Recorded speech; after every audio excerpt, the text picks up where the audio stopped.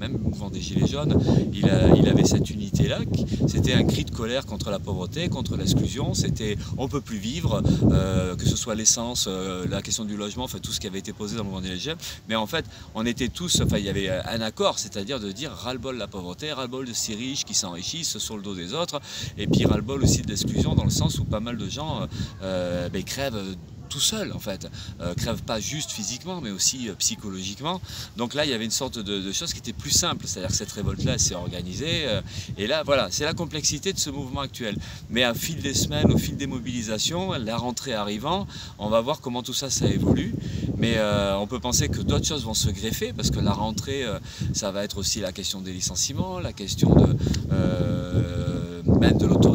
parce qu'on va certainement avoir des, des, répressions ou en tout cas des, chantages, des menaces, les licenciements suite au refus